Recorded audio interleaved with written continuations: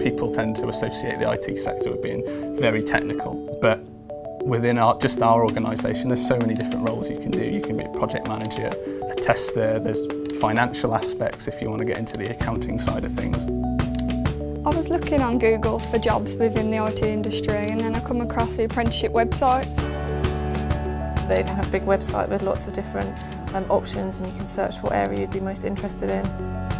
It sounded like something I could do without going to university, um, so that was appealing to me.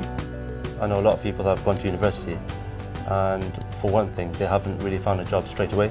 Most of the employers they require um, having some sort of experience I'm not going to lie, the first day of doing my apprenticeship was probably one of the scariest days of my life. Um, walking up there, knowing no one, um, and suddenly being in this big corporate world. Um, however, it was also one of the best days of my life because it's it started my career, it started my future. As soon as you're in the door, you're, you're treated as a permanent member of staff. Um, you're not badged with a, a, big label saying, I'm an apprentice, um, give me a wide berth. It doesn't actually feel like I'm in an apprenticeship. It feels like I'm working in the same way as everybody else. I'm just uh, like a sponge basically, just absorbing everything, just taking everything in slowly. Each day was different. One day you could be taking computers apart, next day you could be just working in teams, solving other problems. I've seen so many areas in the business um, so I've managed to do some development, some project management and testing and so I've been able to explore what I feel would best suit me for my future career. I'd always been a bit technical, messing around with cameras, special effects.